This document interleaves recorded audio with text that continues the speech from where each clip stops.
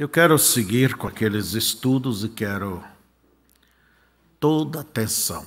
Efésios capítulo 1, começando com verso 3. Bendito o Pai de nosso Senhor Jesus Cristo, o qual nos abençoou com todas as bênçãos espirituais nos lugares celestiais em Cristo. Lugar celestial é a nossa posição em Cristo. Como também nos elegeu nele antes da fundação do mundo, para que fôssemos santos e irrepreensíveis diante dele em caridade. E nos predestinou para, para filhos de adoção por Jesus Cristo para si mesmo, segundo o beneplácito da sua vontade, para louvor e glória de sua graça, pela qual nos fez agradáveis a si no amado, em quem temos a redenção pelo sangue, a remissão das ofensas segundo as riquezas da sua graça, que ele tomou abundante para tornou abundante para conosco em toda sabedoria e prudência, descobrindo-nos o mistério da sua vontade segundo o seu beneplácito, que propuseram em si mesmo de tornar a congregar em Cristo todas as coisas na dispensação da plenitude dos tempos, tanto as que estão nos céus como as que estão na terra. Vamos orar. Pai, acabamos de ler a tua palavra e nesse momento queremos lhe pedir que o Senhor ensine o teu povo, administre, possa ungir os nossos ouvidos, nosso coração, para ouvir e para receber e que o Senhor venha fortalecer ao teu povo, cada dia mais, dando esta revelação, dando esta composição espiritual, Pai, para que cada um possa saber quem é, para onde está indo, saber qual é o seu lugar no corpo de Cristo. Nós te agradecemos e pedimos. Amém. Podeis sentar.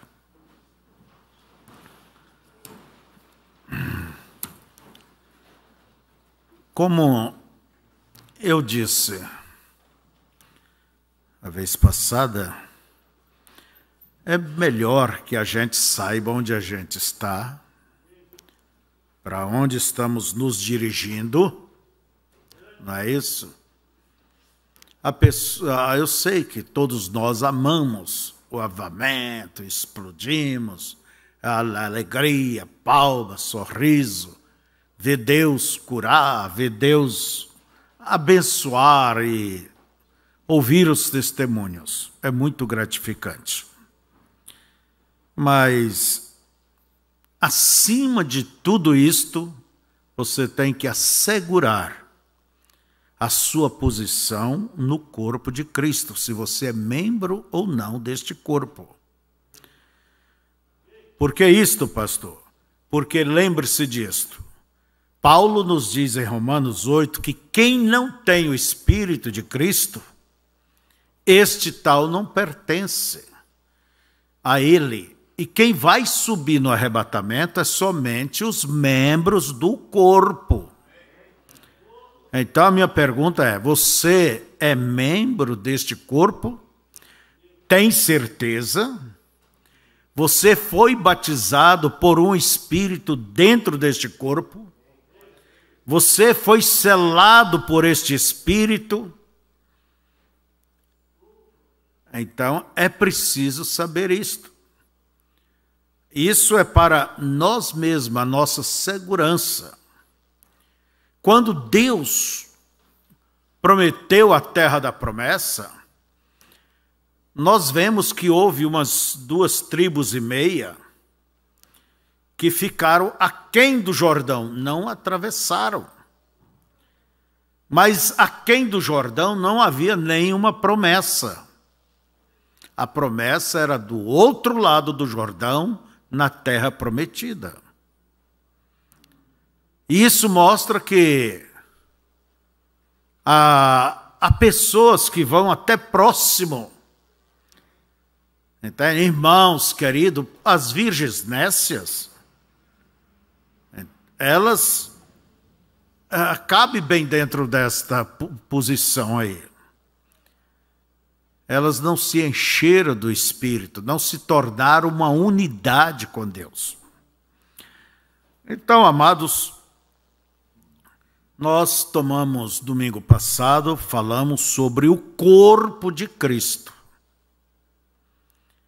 E lembre-se que o corpo de Cristo, eles são, eles são aqueles batizados por um Espírito, que representa, são pessoas que já passaram pela justificação, já a santificação, já morreram para si mesmo, atravessaram o Jordão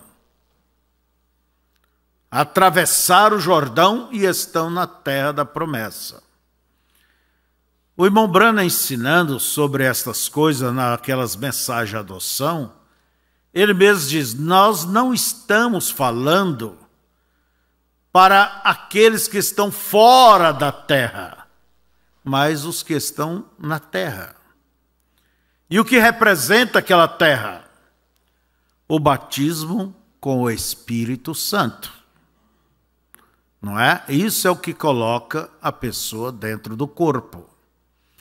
Então, nesse, nesse ponto aí, irmãos, é tão importante, mas tão importante, que se perde esses questionamentos disso aqui, essas chucherias, como diz o castelhano, com pontos, pontinhos, com ismo e com interpretações pessoais.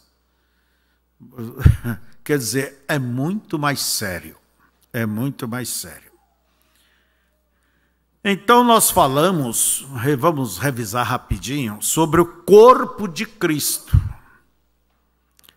Lembre-se bem, esse corpo ele é formado na terra da promessa, que é o batismo com o Espírito Santo. Por um Espírito fomos todos batizados no corpo. 1 Coríntios 12, 13. Entende? Este é a sua igreja, da qual ele é o cabeça. É a sua igreja. E é formado por todos os cristãos. Pessoas de todas as raças, tribos, nações, povos, línguas compõem este corpo. Não há grego, não há judeu, todos temos bebido deste mesmo Espírito. Desde Estevão, vamos dizer, o primeiro mártir, até o último eleito, todos pertencem a este corpo. Ah, pessoas que foram justificadas, santificadas, morreram para si mesmos e agora estão na terra da promessa, além do Jordão, do outro lado. E nós vemos que Josué, nessa série de adoção, o primeiro livro é o confronto de Efésios com o livro de Josué. Quer dizer, é um tipo. Porque a igreja de, de Éfeso foi uma igreja madura, uma igreja exemplar. Paulo não tinha que estar chamando a atenção deles, como os Gálatas, como a igreja de Corintos, mas Paulo pôde falar mais profundamente para aquela igreja estabelecida, madura, a igreja de Éfeso. E o que é a igreja de Éfeso? Ela simplesmente nos coloca, era uma igreja que fazia parte deste corpo. Era uma igreja amadurecida, genuína. E uma igreja que estava posicionada. Posicionada. E o que fez? Por que Josué? Moisés não estabeleceu o povo de Israel na terra da promessa. Pelo contrário, Moisés somente levou o povo do Egito até próximo à terra da promessa. Ele não atravessou o Jordão. E isso ficou para Josué, que é um tipo do Espírito Santo. E o que fez Josué? A terra foi repartida, conforme as profecias antigas. Judá aqui, Rubem ali, Simeão acolá, Benjamim lá, e assim cada um tinha, vamos dizer, o seu município. E viviam de uma maneira confederada, quer dizer, unidas. Quando o inimigo vinha, eles se uniam e rebatiam o inimigo. E nós vemos que dentro de cada uh, tribo foi dividido por casas. Vamos dizer, a casa dos Oliveira, a casa dos Rodrigues, é ali, acolá, acolá. E aquilo era a herança deles não se podia vender, não se perdia aquela herança, mesmo se alguém fosse obrigado a abrir mão, mas no jubileu aquilo retornava. Ali vivia aquele eh, o, o dono da terra, a quem Deus havia dado, e a sua família, seus filhos e seus netos, e assim eles preenchia toda a terra, né? Eles estavam estabelecidos. E a mãe, e a mulher, quando estava dando a luz, ela simplesmente chamava pelo nome da sua tribo.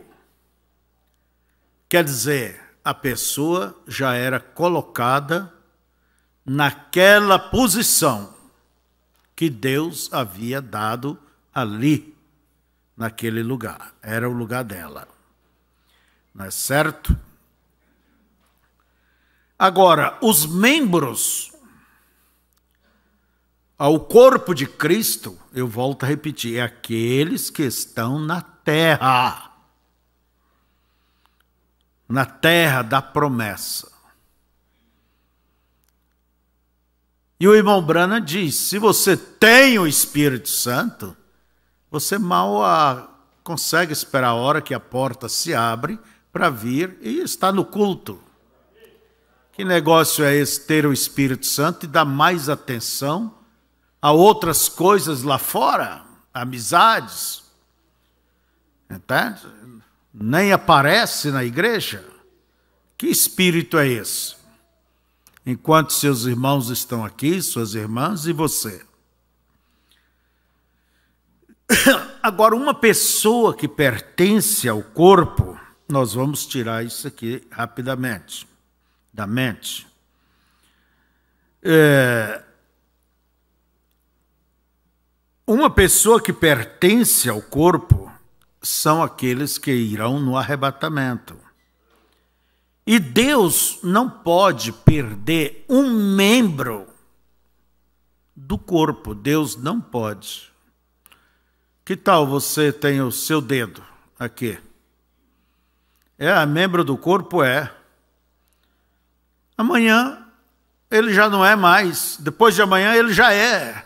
Esse negócio de entra e sai, entra e sai. Não. Se a pessoa comete pecado, vai pagar por isso, mas não que ela é cortada. E o corpo tem que ser completo, tem que ser perfeito, tem que estar inteiro. inteiro. E o corpo de Cristo não irá faltando nem uma parte. E o que anda faltando para o arrebatamento é cada membro se posicionar dentro do corpo, se posicionar. Amadurecer. Ah, quando chegar e for batizado, chegou, pronto, vai. Não, além do batismo, tem que passar por isso, cruzar o Jordão, tem que ser posicionado. Por quê? Ninguém vai no arrebatamento fora do seu lugar. Do seu lugar. É isso aí. Ah, como diz o profeta, que eles não podem se perder. Não pode hoje estar no corpo e amanhã já não está, e assim por diante, né? Então, domingo pela tarde, nós estivemos falando sobre a diversidade dos membros, que o corpo não, ele é um só, mas quantos membros ele tem?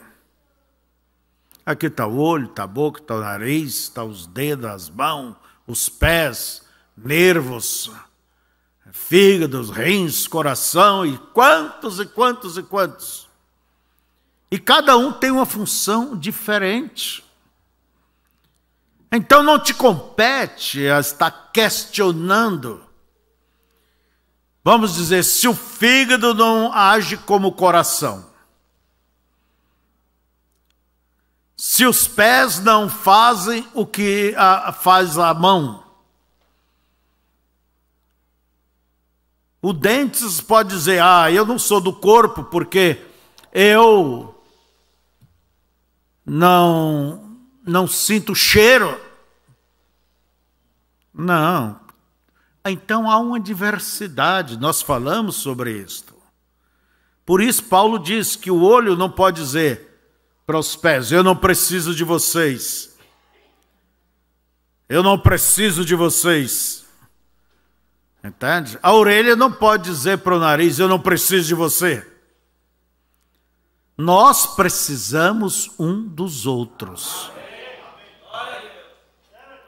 Agora, é Deus que administra essa diversidade toda, assim como o nosso corpo tem muitos membros, cada membro tem uma função, cada membro tem uma atuação, né? Eu creio que tudo é Deus que tem colocado. Não é preciso a pessoa ter que ser como eu para ser membro do corpo de Cristo. Não, que é isso? Que tal se o olho dissesse então para os pés: Eu não preciso de vós? Eu queria saber como que o corpo ia andar. Que tal o braço de a mão dizer para os olhos: Eu não preciso de vocês? Realmente não precisa. Ah, entre aspas, né?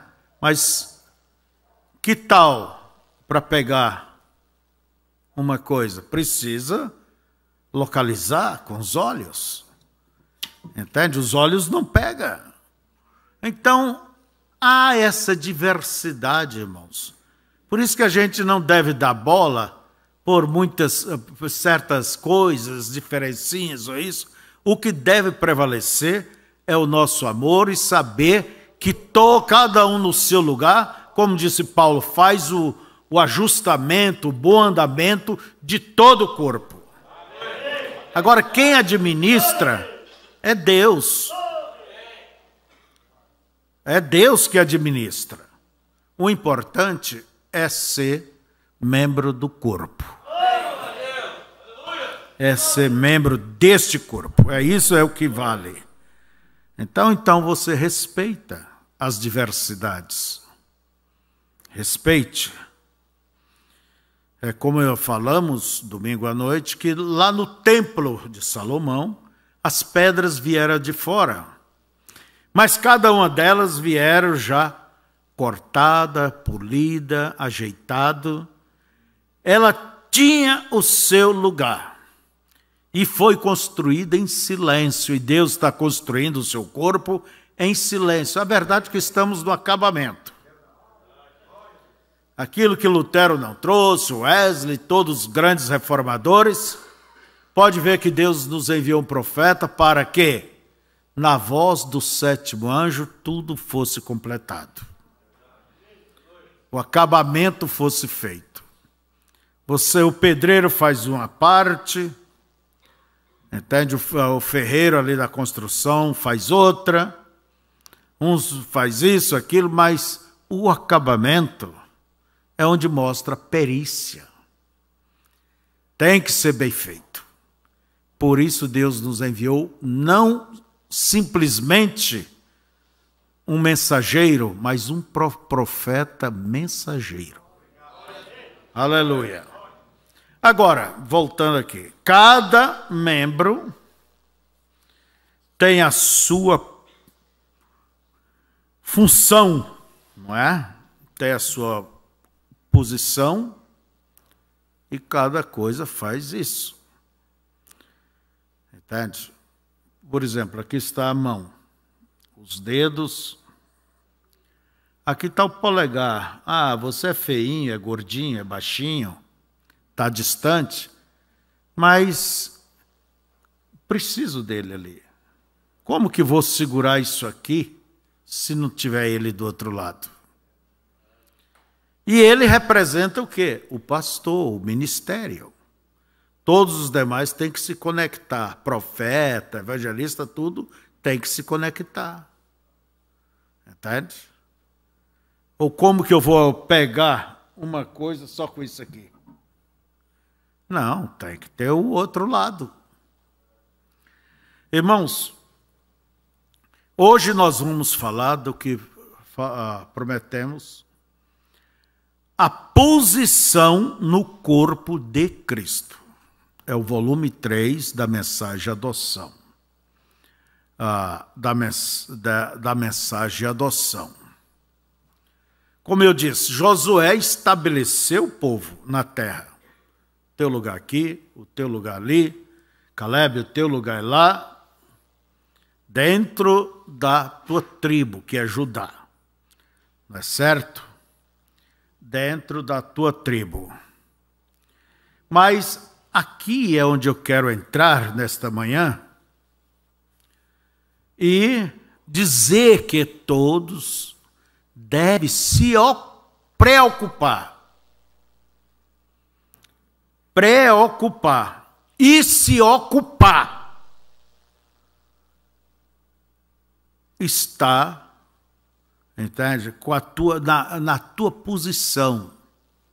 Igual time de futebol. Cada jogador, ele é ensinado a ter o que fazer quando a bola vem no seu campo. Ele é o lateral direito, ele não vai jogar lá na, na esquerda. O goleiro não vai jogar uh, ele não vai ser o atacante. Cada coisa no seu canto. O importante é você saber o que você faz, tem que fazer, quando a bola vem para o teu lado. Isso é o que você tem que saber. Quando Deus exige de você isso, você tem que desempenhar, entende? Tal função, se os nossos membros do corpo sabe, o fígado está no seu trabalho, o coração no seu trabalho, o pulmão no seu trabalho, os olhos está fazendo sua, seu trabalho, cada coisa tem sua função. Entende? Não existe um membro do corpo inativo, não. Não há membros inativos. Cada um foi colocado para um trabalho para alguma coisa. E como eu disse antes, todos querem ser, às vezes, aquele o mostruário do relógio. Os ponteiros, né, que anda, que número. Ah, eu, eu, se eu não sou, se eu não, não estou no mostruário, ah, eu não sou membro do corpo. Se lembra dos velhos relógios? Cheio de, de molinha, cheio de rodinhas ali dentro e tudo aquilo se mexendo. Se uma ele, o mostruário, depende daquela molinha, daquela coisinha que você diz: "Ah, isso aqui não precisa". Ah, isso aqui não necessita. Não. Tudo vai necessitar para poder trabalhar e dar a hora certa. Por outro lado, irmãos, isso nos valoriza saber que somos importantes. Não somos descartáveis, somos importantes no corpo de Cristo.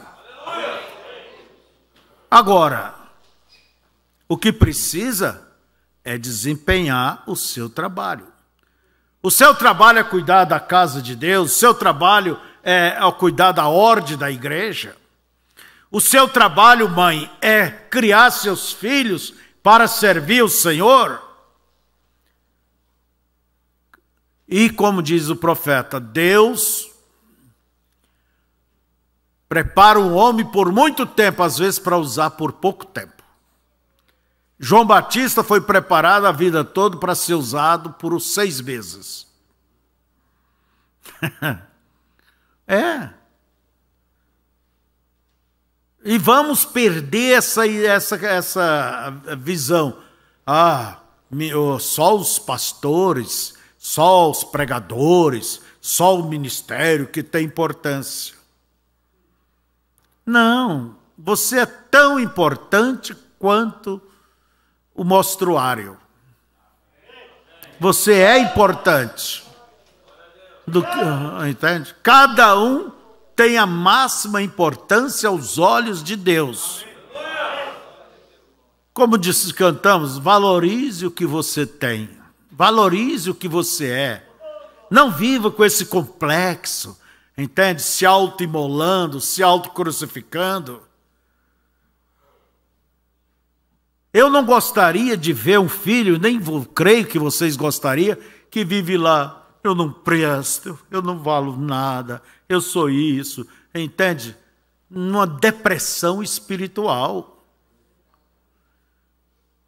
Não, Deus não se agrada disto.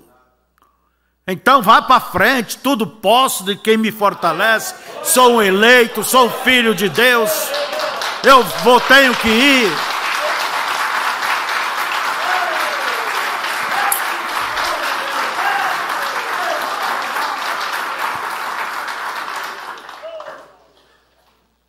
Não é choramingando, lamentando e olhando para trás. A vitória não está atrás. A vitória está na frente, ela não está do lado direito nem do lado esquerdo, ela está na frente. E a Escritura diz: Este é o caminho.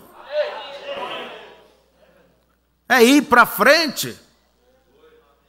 Se tem que cair, mas caia no teu caminho. Ah, Pedro falhou, Pedro falhou quando ele foi andar sobre as águas. Ah, Pedro falhou. Sim, mas eu olho que foi o único que teve coragem de descer. Foi o único. Isso esquece de falar. Mas ele falhou? Falhou. Mas para que lado ele ia? Se a gente tem que falhar, mas é fazendo o que é certo, procurando procurando fazer o que é certo. Eu recordo do ex-presidente Geisel, ele dizia: Eu assino aí 40, 50, 60 documentos por dia. Por dia. Posso errar, alguns quatro, cinco, mas os mais importantes eu levo, vou examinar, vou me aconselhar e ele concluiu dizendo: Posso errar, Eu gostei disso, mas quero acertar. Quero acertar. O irmão Brana nos fala daquele homem que foi fazer o teste, era um candidato, entre tantos, e eles teriam que fazer uma prova, e cada um teria que ter levado, uh, levaria, lev, teria que ter um lápis com borracha.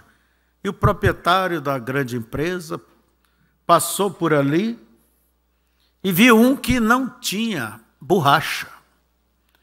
Ele disse: Ó, oh, meu senhor, ó, oh, senhor, eu vejo que você não trouxe borracha, seu lápis não tem borracha. Daí o, o homem disse: É, eu não erro. O dono da empresa, já maduro, né? Ele disse o seguinte: Então, não posso confiar em você. Não posso confiar. Porque toda pessoa que vai fazer alguma coisa vai errar também. E o irmão Brana conclui dizendo: Eu prefiro errar, mas tentando acertar, fazendo alguma coisa, do que não fazer nada. Não errei, mas também não fez nada. Então vamos aqui, irmãos. A preocupação, a sua preocupação, a preocupação cada uma seria esta: conhecer o seu lugar. Ou você acha que Deus te trouxe para o Evangelho, para a fé, sem nenhum propósito? Não, Deus tem um propósito. Ele teve um propósito ao me chamar. Ele teve um propósito ao te chamar, minha irmã ao te chamar, meu irmão. Deus, se na criação dele ele não fez nada sem um propósito, observe, mesmo aquela erva ali que lhe incomoda, sempre você tem que estar tirando ela, ah, esse inso, mas pode olhar que ele tem uma validade, ele serve para alguma coisa. Quando você vê alguém diz, olha, você toma esse chá da, daquela malva, que aquilo é muito bom para bexiga, sei lá o quê. Tudo tem um destino, tudo tem um propósito. Se Deus fez isto, hoje quando eu levantei, um gavião se levantou ali, estava bem na, no meu pátio, bem na, na frente. Ah, vou pegar o rifle e vou dar um tiro. Não. Tem muita pombinha e eu trato muito, muitos bichos lá em casa, gasto um monte com eles. Mas ele foi feito para isso, para que haja um equilíbrio. Um dia ele passou lá, pegou uma pombinha e levou. Ele tem que comer também. Em São Paulo, ali naqueles aqueles canaviais, aquela pomba, pombinha, amargosa, que nem carne, a carne presta, é muito amarga, aquilo virou uma praga. Virou uma praga.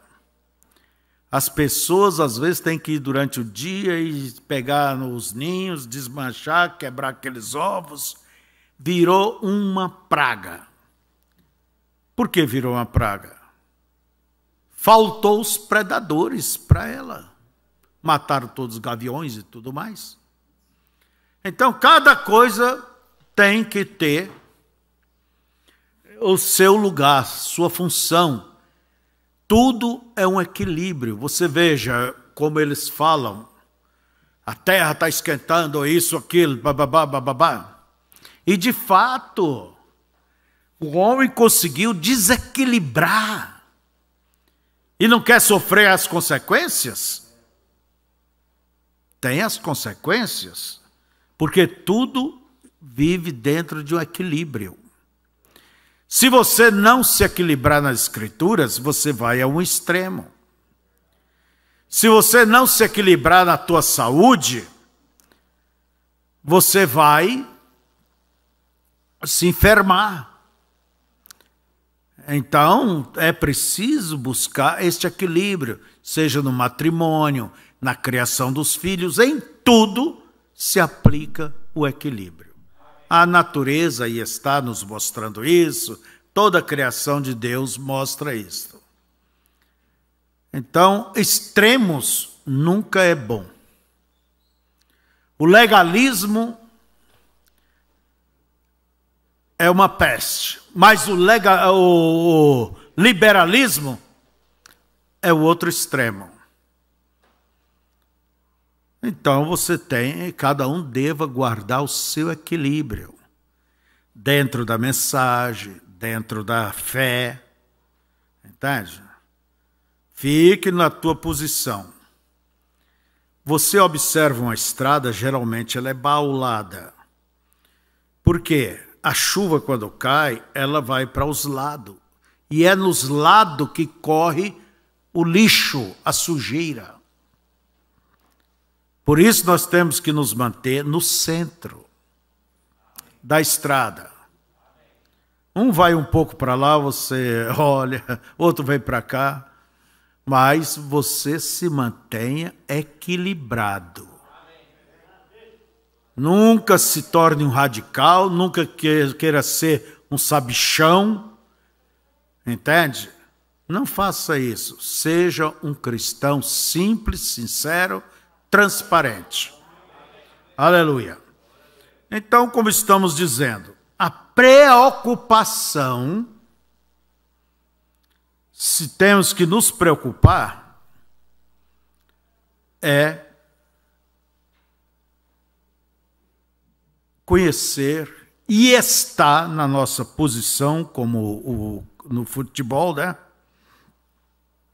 Porque há muita coisa fora do seu lugar.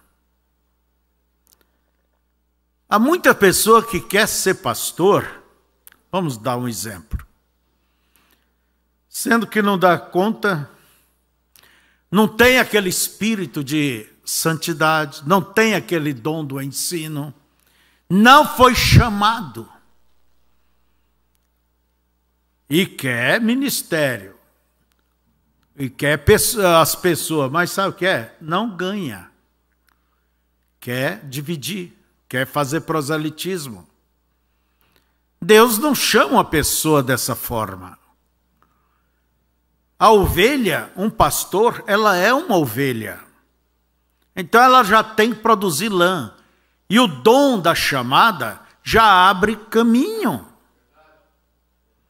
Ó, oh, eu quero dom de cura, olha, eu quero isso, eu quero aquilo.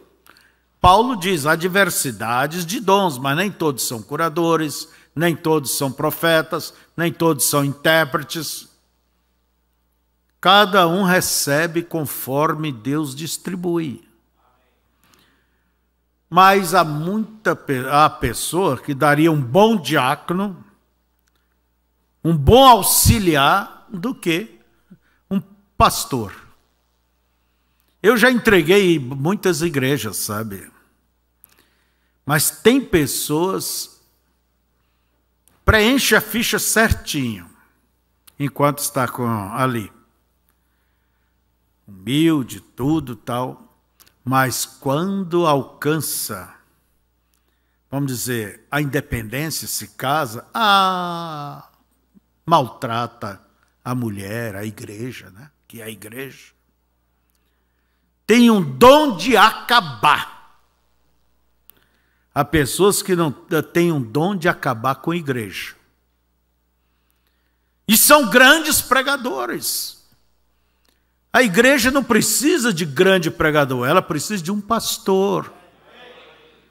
Uma pessoa que cura ferida, passa o azeite, com, entende? Pessoa que possa ajudá-la, animá-la. Ou acha que tem que descer o pau e ser um espancador. A escritura mesmo de modo diz que não deve ser um espancador. Espancador de quê? Da igreja. Acho que pregação é é porrete. Davi disse: "A tua vara e o teu cajado me consola". E a mesma vara de um lado Entende? Ela serve para cutucar aquela vara. Mas o outro lado é um cajado, tem a voltinha, ajudar, levantar, confortar, encaminhar. Então você nunca queira ser pastoreado, pastoreada só com o cajado ou só com a vara. Não. Nós precisamos ser advertidos. E o pastor nunca dá de varada e quebra. Não, aquela vara é para alertar. Irmão, ó o cutucão, saia disso. Você está dando água para um certo espírito. Entende? A vara é para divertir, aconselhar. E Davi disse: a, a tua vara e o teu cajado me consolam me consola. Então, irmãos, agora você, vamos entrar nisso. Você diz, mas irmão Febrônio, eu não sei qual é o meu lugar no corpo de Cristo. Gente, Deus, ele sempre coloca as coisas à altura, ao alcance, melhor falando, da nossa mão. Você não tem que ir lá na China, no Japão, para buscar saber o teu lugar. Todos já nascem com essa propensão. Entende? É basta você olhar para a tua inclinação, naquilo que você gosta, naquilo que você é bom. E viva isto, seja você autêntico. Todos nós viemos ao mundo com dons, com alguns dons. Todo mundo veio ao mundo. Tem aquele que pega chaves e sabe conserta o carro e dá jeito. Entende? Como diz a Escritura, quem é que fez o ferreiro que assopra as brasas e martela o ferro e forma a ferramenta? Tem gente que tem uma habilidade incrível.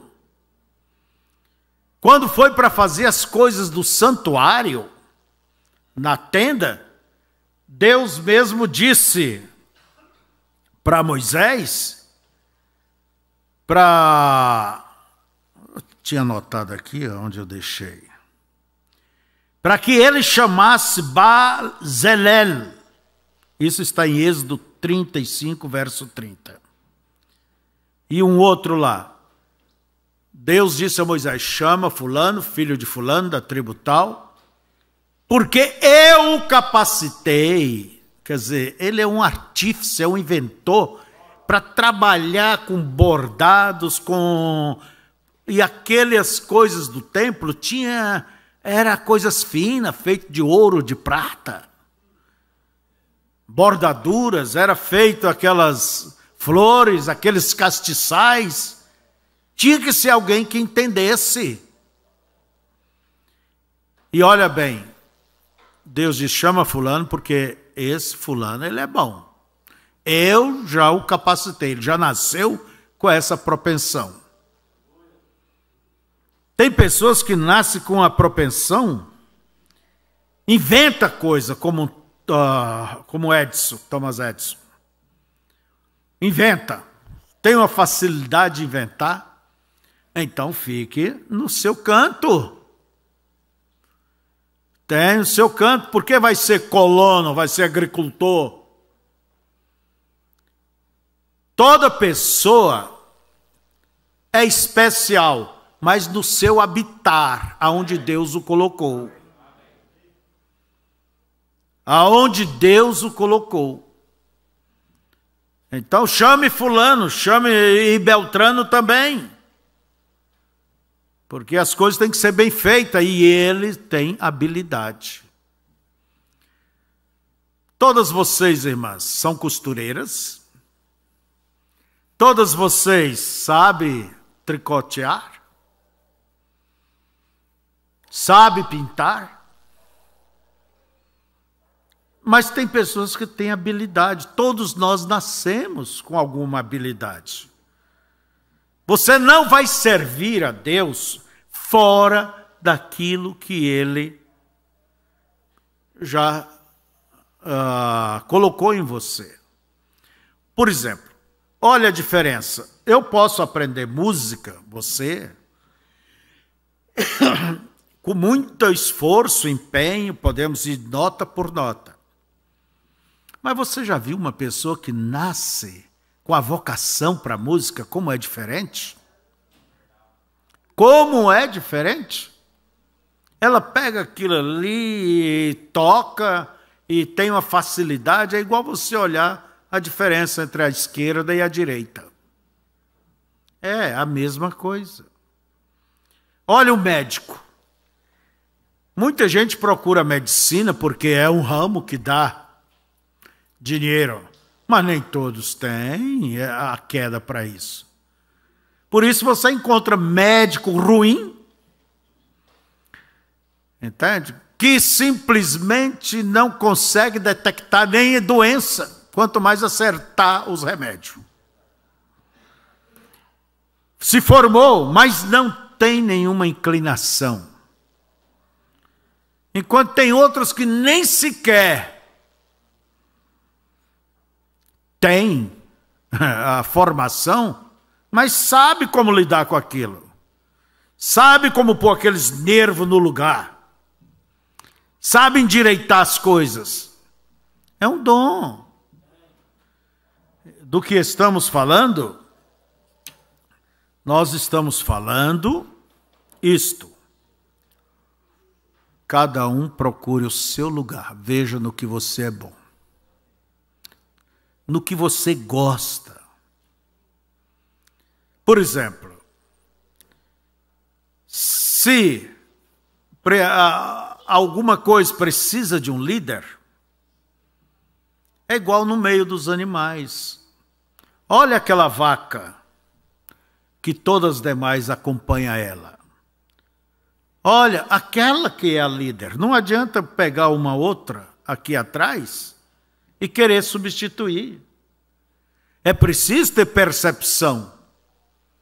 Quem tem a liderança, quem não tem, como usar essa liderança e nunca explorar, usá-la para explorar ou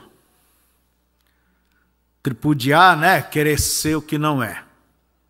Aproveitar porque foi chamado, acha que só ele que é o bom, é que é o único e que é o que pode.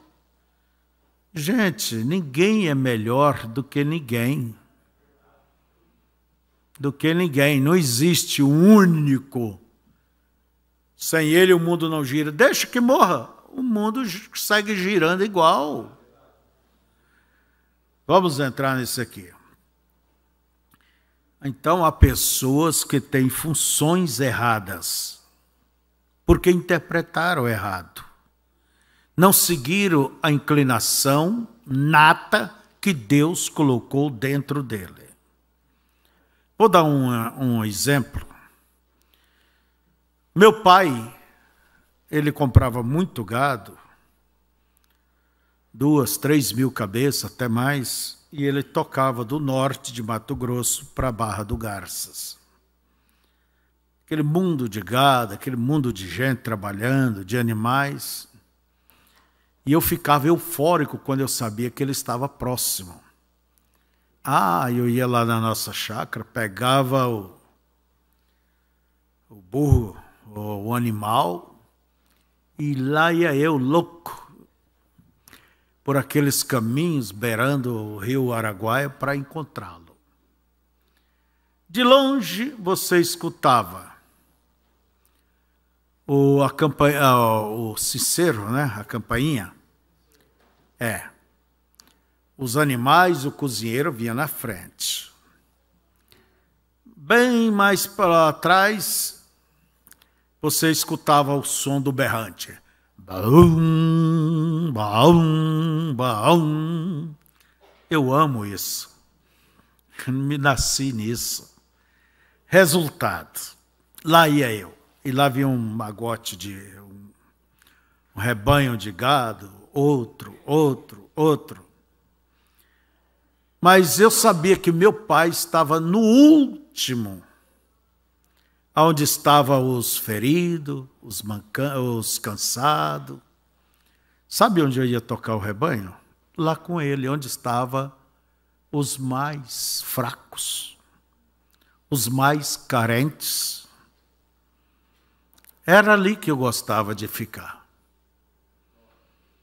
Então, geralmente, a pessoa mais necessitada, a pessoa mais frágil, é, a, a, a gente se condói mais dela do que quem está bem.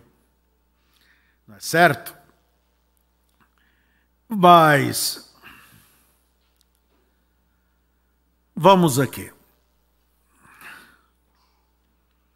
Cada um tem o seu lugar no corpo de Cristo. Cada pedra tem o seu lugar no templo. Agora você diz, irmão Febrônio, como que eu posso saber o meu lugar?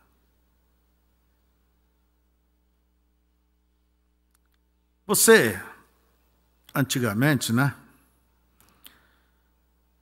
Ah, se a pessoa ela está esperando e ali vem uma paca e a pessoa atira naquela paca, o capivara, ou seja, o viado, ele corre e vai para a água e morre, é melhor pegar e ir para casa. Porque aquilo vai ficar lá no fundo e só vai flutuar quando a vesícula estoura. Então volta no outro dia, o que, que você faz? Você pega a canoa, aonde ela, aquele bicho caiu, você deixa a canoa ali, tira a mão dos remos de tudo, e a mesma água que levou o bicho vai levar a tua canoa, dali um pouco você vê, ele é lá. Quer dizer, deixa, solta o cabo da nau, deixa a coisa ir para frente, não force, não se preocupe, não saia da risca. Você tem uma utilidade. Deus nos fez com utilidade. Ah, mas eu só sou uma mãe, uma doméstica. Gente, cuida bem do teu marido, faça comidinha boa. Zele dos teus filhos. Que coisa, ministério maior do que este? Você cuidar do seu rebanhozinho levá-los para uh, conhecer a Cristo, o profeta diz: se eu fosse uma mulher, nas horas vagas, eu chamaria meus filhos e ensinaria o bom caminho do Senhor. Ah, é, é, tem que trabalhar. Não, ele pode pôr as coisas dentro de casa, fica em casa. Cuide das coisas em casa. Fica no teu lugar. Porque há muitas que têm, têm, ah, eu vou estudar, ah, eu vou trabalhar. Tem naufragado. Quando você está fora do seu lugar, você se torna vulnerável. Vulnerável. Não é certo? Então, qual é o meu lugar? Aonde Deus nos pôs? Senhor, tu obrigado pelo Senhor ter me chamado, tudo, agora me faça reconhecer o meu lugar. Me faça eu ver, me faça eu estar no meu lugar. É isso, irmão, devemos orar. Eu quero ser eficiente. Um colono, irmãos, ele tem muitas ferramentas: tem o serrote, tem a enxada, tem a foice, tem o machado, tem o martelo. O que importa é aquela ferramenta estar ali e bem afiada. Na hora que precisar da foice, ele vai lá, usa a foice. Ah, mas tem que usar sempre a foice? Não. Agora é a hora do serrote. Só procuro estar à disposição e bem afiado no ponto. É isso que temos que preocupar. Nós somos ferramentas. E Deus vai usar cada uma na hora que precisa. E como eu vos disse, as coisas sempre estão ao alcance da mão. Ao alcance da mão. Uma vez eu disse para um certo pastor, naquele mundo do Amazonas, ali no Pará, ele disse: Eu tenho um povo, eu preciso entregar essa uma região aí para um pastor. Eu disse para ele, irmão, e ele disse: Eu vou, no encontro eu vou procurar um pastor para vir para cá. Olha, olha, olha, olha a coisa. Pronto para dar errado. Falei: Você quer um conselho, querido? Faça assim. Olha ao teu lado. Geralmente Deus coloca as coisas próximo a nós. Aquela queixada de jumento estava próximo de Sansão. Aquela funda que Davi usou estava com Sansão, com Davi. Pedro você vai ser pescador, mas a rede, você já é pescador. Eu vou te fazer pescador. E você, Dorcas, é costureira, ajuda as irmãs a vestir bem, né? Cobre mais barato, por favor. Entende? Então use a tua agulha. Cada um tem. Deus sempre põe os, os recursos ao alcance da mão. Eu disse para aquele colega: você deve ter aí ao teu lado. Vai buscar um alguém de fora, não entende a vida que é difícil. a pessoa que tem que trabalhar para poder ir em tal lugar atender os irmãos. E geralmente esses que, o outro aí, a primeira coisa, e lá tem entrado o suficiente? para me sustentar o padrão da minha família, carro, isso e aquilo. Não, tem que trabalhar com os Zezinhos mesmo. Eu creio no homem nacional, local. É isto que nós temos que dar oportunidade. Então, você, para reconhecer o teu lugar, ele está próximo de você, está ao alcance da tua mão.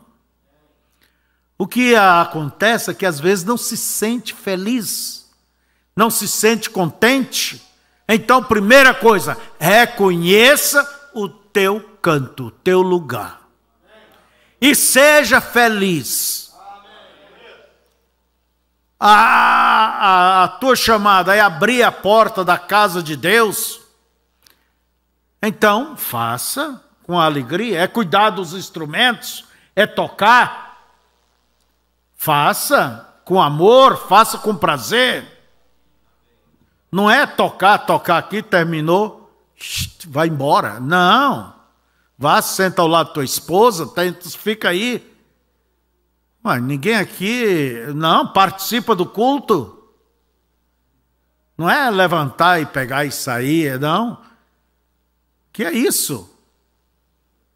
Você é cristão, tem que alimentar sua alma também.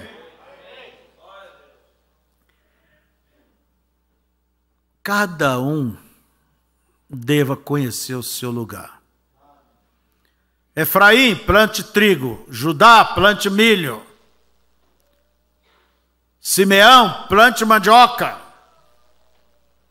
Depois tem a, a comida completa, porque eles vão se trocar. Agora, plante trigo. Não, eu plantei mandioca. E você plante mandioca? Não, eu plantei feijão. Enquanto as coisas estiverem embaraçadas, fora do seu lugar, entende? Como que a igreja vai fora, o membro vai fora do seu lugar? Não tem como. Não há como. Senhor, a nossa oração é essa, deva ser essa. Nos ponha, me ponha no meu cantinho. E me dê o entendimento, e eu quero ser feliz e alegre. Se é só para estar limpando a casa do Senhor, se é para mim ser uma doméstica, olha, Senhor, eu estou feliz. Eu estou feliz. Se é para mim ser um, um ferreiro, ser um carpinteiro, ser um pedreiro, ser um mecânico, ser um médico, ser uma enfermeira, cumpra os teus deveres, quer dizer, exerça com prazer. Exerça com prazer. É isso. Qual é o meu lugar? Procure conhecer, está pertinho de você. Como diz a Bíblia, não ninguém tem que subir aos céus para dizer, ah, quem está em cima, quem vai lá para nos trazer e nos dar a conhecer? Ou está do outro lado do oceano, quem vai lá para nos trazer e dar a conhecer? Deus diz: está pertinho de você, no teu coração. Olhe para dentro, veja. Porque é uma insatisfação, há muitos que estão insatisfeitos. Há muita pessoa que está insatisfeita consigo mesmo. Não há razão para isso. Conheça teu cantinho e fique feliz. Seja feliz. Se você sabe falar só a história de Cristo, Deus vai te usar com isto. É, com isso aí que Deus vai te usar.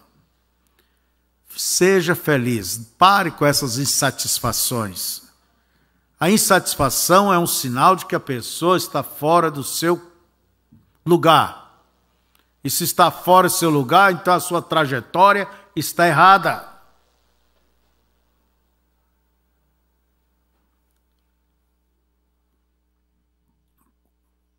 Que devo fazer, pastor? Olha perto e solta o cabo da nau. Deixa a coisa fluir naturalmente. Naturalmente.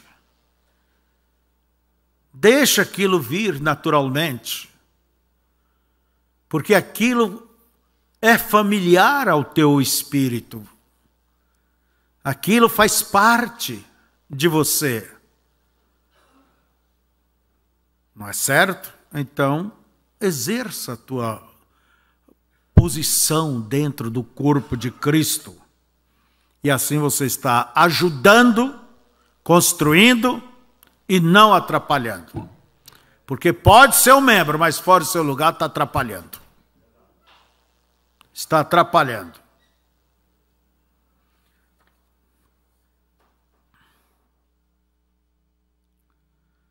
Então, irmãos, hoje estamos falando, e chegamos ao fim, a nossa posição dentro deste corpo. Isso é o que necessita. Porque ninguém vai no rapto fora do seu lugar. Ah, Jesus está demorando. Você pode ver sempre o rapaz o noivo está aqui, está pronto. A noiva que às vezes demora e demora, não é? Deus está sempre pronto. E enquanto a coisa não estiver tudo no seu lugar, hum, tem casamento só do rapaz, sozinho? Não tem. Ela tem que vir. Ela tem que estar pronta para essa união. Então a demora é do nosso lado, não do lado de Deus. Por isso a nossa oração deve ser pela gente e por todo o corpo, os membros do corpo. Se você, uma vez quando eu estudava ainda, faz muito tempo que eu saí da escola, né? Ah, estudando biologia, eu lembro que o meu professor disse uma coisa. Ele disse: se você pegar uma célula de cada órgão seu, da pele, do cabelo, do coração, dos rins, do fígado, disso, daquilo mais, você põe ela dentro, põe elas dentro de uma seringa, ali onde tem água, tal, você injeta no corpo. E cada célula vai para o seu lugar. A do coração vai lá para o coração, a da pele vai para a pele, a do cabelo para o cabelo, a do fígado do fígado. Quer dizer, deixa o sangue levar. Agora não tenta dizer, olha, eu, eu quero ser aquilo. Não. Vivam tranquilos. Viva em paz. Descanse no que Deus tem te feito. Seja firme. Como disse Paulo, sempre firmes e abundantes na obra do Senhor, sabendo que o vosso trabalho não é em vão.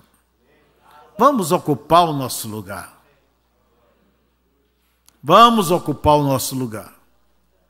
Eu estava lembrando hoje, vamos ficar de pé. Há pessoas que a gente sente falta na igreja. E como é bom, às vezes uma irmãzinha nunca diz nem boa noite, nunca é quietinha, um irmão aí, mas você olha, vê aquela pessoa ali. Isso anima o ministério. Anima. Por isso, fique no teu lugar. Pai, concluímos, Senhor, falando sobre a posição com a qual todos devamos ocupar, devamos preocupar, devamos estar e exercer, ó Deus, de uma maneira correta, as funções de nossa posição. Que o Senhor ajude cada um a se localizar, a se conhecer e faça com que cada um seja feliz. Ó Deus, tire toda essa precipitação, essa inconformidade. É como aquele irmão que estava procurando o batismo com o Espírito Santo, a chamada, e ele nunca se dava por satisfeito. Mas quando encontrou seu profeta, ele disse: Quando você pegou aquele folheto, ali Deus trabalhou já em você.